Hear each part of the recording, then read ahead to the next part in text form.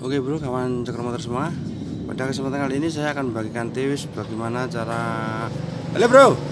Mengganti kampas rem atau dispet pada motor Vario 125 ya bro ya. Ini motor Vario 125 Bagaimana cara menggantinya dengan mudah Singkat, simpel ya bro ya. Simak terus videonya. Semoga bermanfaat. Jangan lupa subscribe like. Yang belum paham boleh komentar oke.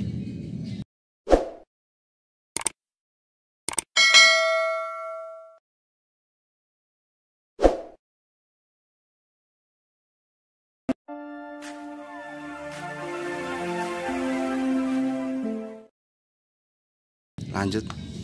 Kita sediakan kunci L kunci L bintang. Ini ukurannya T40 ya bro ya? Kunci L bintang buat ini. Lanjut buat yang baut ini nyopot baut ini adalah kunci T8 atau kunci 8 juga bisa ya bro ya. Oke pertama-tama ini kita kendorkan dulu yang T8 yang pakai kunci T8 kita kendorkan saja dulu. Jangan dilepas. Lanjut kita lepas untuk yang hmm, baut L nya L bintang ini ya bro ya. L bintang kuncinya T40 ya. Nah, kita lepas.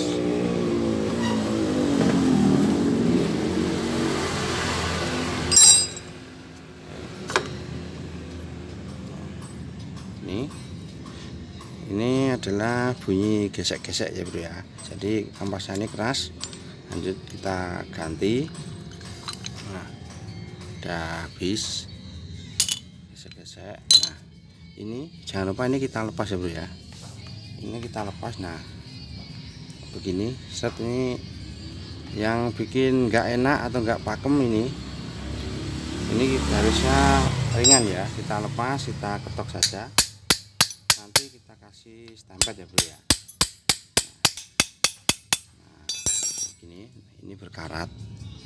Ya ini berkarat jadi ini kita bersihkan nanti kita kasih stempet ya bro ya lanjut untuk yang piston piston ini kita masukkan bro kita masukkan nanti memasangnya biar lebih mudah.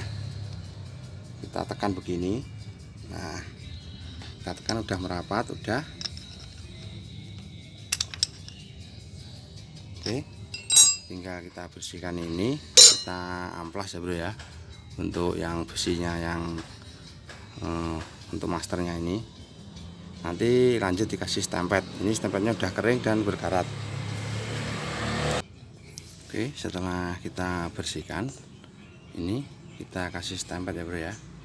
Sini kita kasih stempet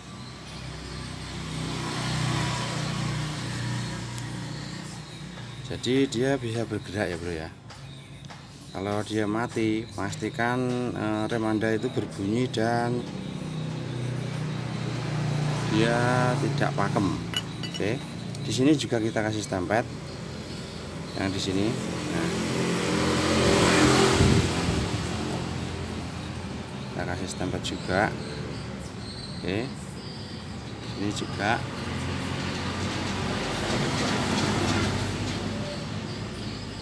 Nah, udah. Ini kita coba. Kita putar-putar kita masukkan kita putar-putar nah kalau udah terasa ringan begini udah ya bro ya.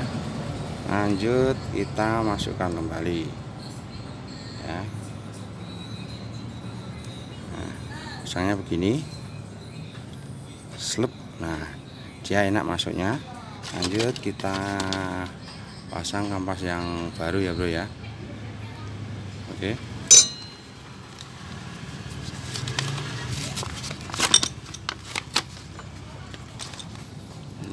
kampasnya yang baru kita pasang.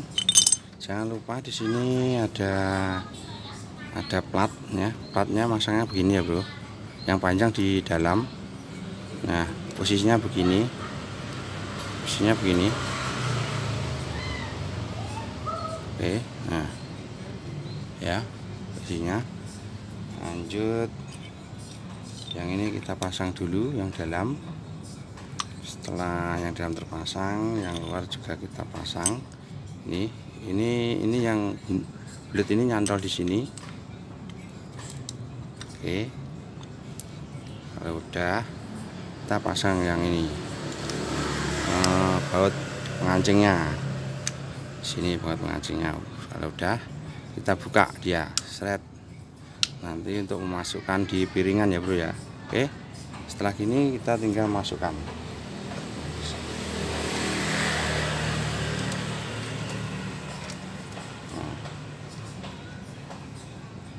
tinggal kita baut kita kencangkan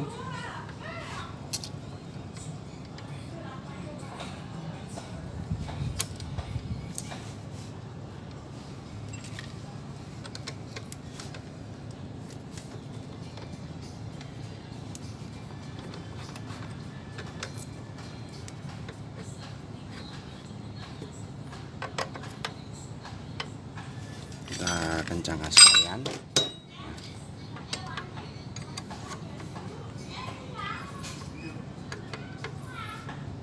oke kalau udah ini kita kencangkan ya bro. Untuk buat pengancing. Udah beres. Nggak usah di uh, gembos-gembos ya bro. Nggak usah digembos-gembos atau diapain ya bro uh, dikeluarin angin nggak ada anginnya ataunya ya. Ini langsung ready oke? Selanjutnya kita pompa-pompa untuk eh kita pompa-pompa untuk handremnya handremnya kita pompa-pompa nah, pelan-pelan biar dia mepet untuk nah kalau udah udah terasa keras ya udah terasa keras kita coba. Oke kita coba kita putar kita rem kita ganjal. Oke udah